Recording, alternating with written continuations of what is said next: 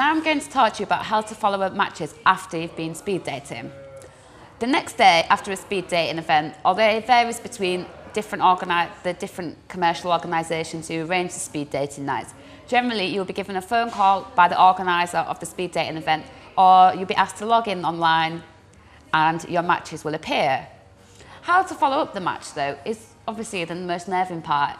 You know you've got a match, you know they like you and you like them. Simple. Well, how do you contact them though? Making contact at first is quite nerve wracking because in essence you've only spent three minutes with them.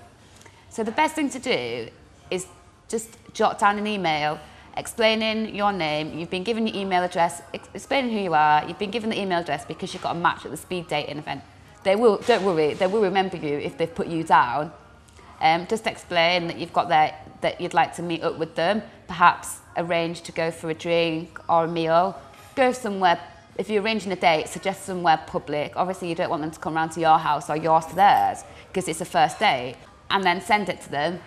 If they like you, which they do, they've put you down for a match, they remember you, they're going to reply to you, and the first date's normally set from there. And then, whatever happens after that, it's up to you to take further.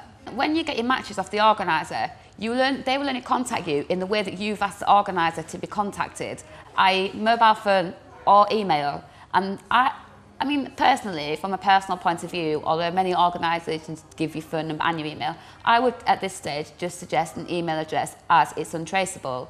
And if you go out on a date and you arrange to meet and it goes wrong, then they've got no, con they've got no contact to get in touch with you um, because you can always change an email account Um, so that's personally what I would suggest. So that's how to contact your matches um, after you've been speed dating.